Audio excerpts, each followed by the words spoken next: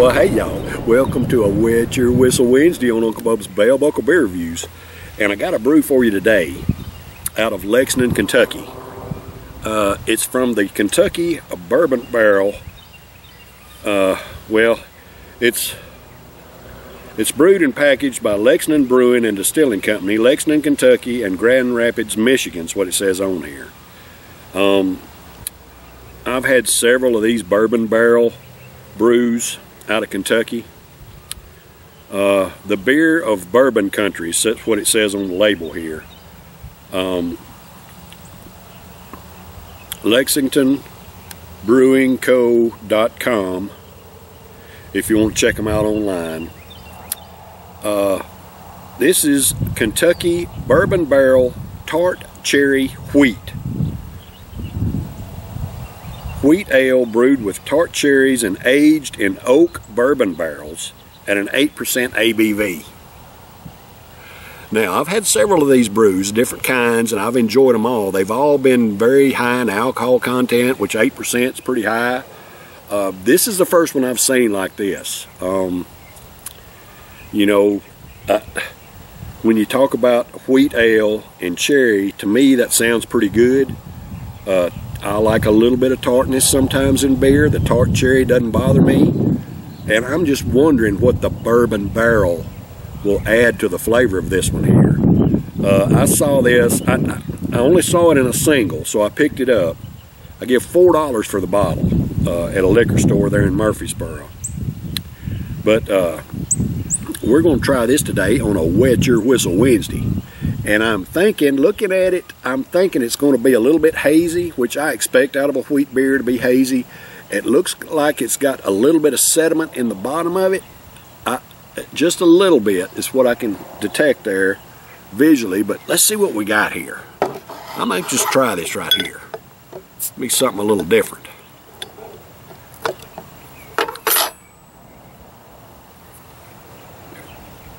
A horse on a Kentucky bourbon barrel. Yep, it's a little hazy. Uh, it's also a little pinkish. Just a little pinkish. Look at that. You, can you? I, I hope y'all can appreciate the the pink tint to that. Um, it's hazy and got a pink tint to it. Now I can't.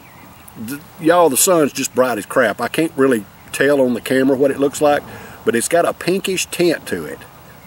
It's just sitting here.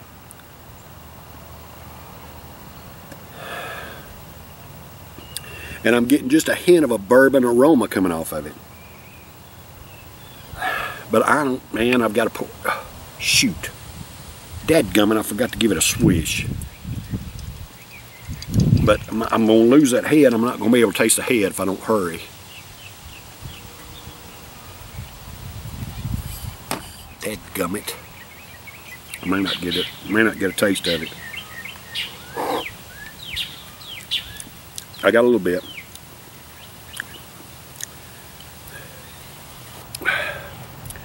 I was able to get just a little bitty taste of the head because it's just too far in there.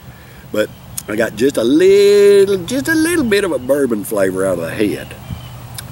Um, it's a pretty hazy brew with kind of a, I, I don't know, it, it it had a pinkish tint when I was pouring it off, but it kind of looks like a just a, a hazy kind of amber color now uh, that I'm attributing to the cherries, perhaps. It's not, I mean, I, I can't really see anything through it, so it's hazy enough not to see anything through it, but it's very translucent. And it's a pretty brew. Nice, beautiful white head on that thing to have the color that it is. Um, you know, a lot of times a, a darker beer will have a, a tannish head, uh, where this is just a bright, bright foam and a, a hazy amber color to it.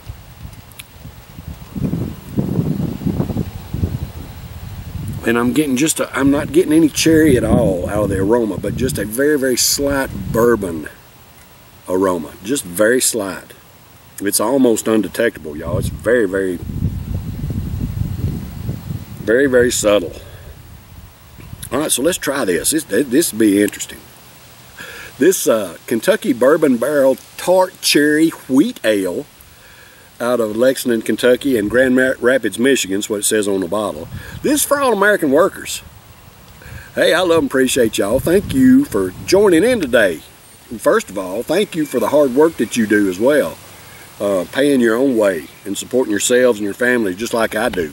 Not depending on our stinking, worthless, dadgum, grossadelic government. I got no use for them, y'all. Vote every damn one of them out when you get a chance to, because they ain't on our side. That, that's obvious from the actions they've taken, you know, with the hurricanes and everything. They're not on our side vote them all out. They can't do the right thing. It's obvious from the way they give our money away to other countries and all this other garbage. They're not on our side.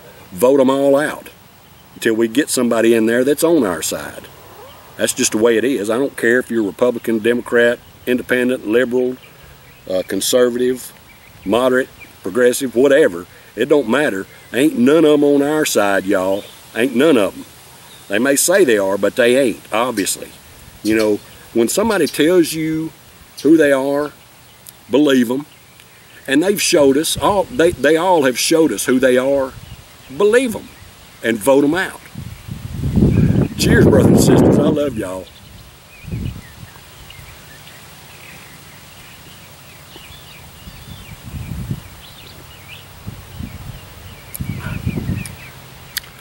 Wow. That's freaking good. It is totally different from anything I have ever had, but it's good. Um, I am getting just a very subtle, subtle bourbon flavor in them, in it, in them. Getting a very, very subtle flavor of bourbon and also just an almost undetectable cherry flavor. I mean, I, I'm not getting much of the cherry at all.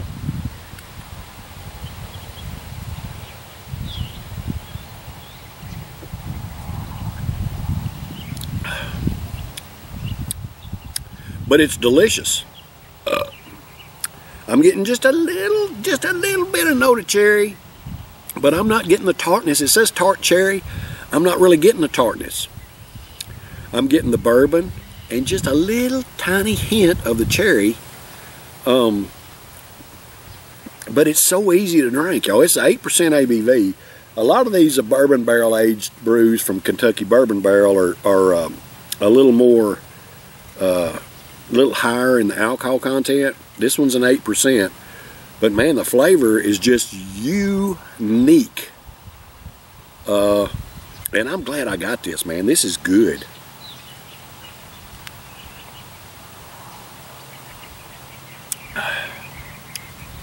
It's got kind of a medium mouthfeel. Um, but the flavor is just something so different from anything I've ever had. Now, I couldn't sit down you know, and watch a, a football game and drink a six pack of this. Um, it's a little bit on the, uh, I don't know. It's it's not really heavy, but it's not light either. Uh, this would be something I couldn't drink too much of. Uh, it's got the, it's got a fruitiness to it. All right, but it's not. I'm not really detecting cherry, but I'm detecting you know a fruity type flavor coming off of it. With just, I mean, the bourbon is just, it's there, but it's not real strong. It's a little bit of a bourbon and and a little bit of cherry, but mostly a fruity type note to it. Uh, I'm not getting any breadiness off the wheat of it at all. I mean, nothing like that. It's easy to going down. It's easy to drink. It's a little bit, a little bit on the heavy side. It's not something I could drink a lot of. I'm glad I got it in a single. Um, but it is good. I'm to score it an A minus. and that's that's enough said. I'm to score it an A minus.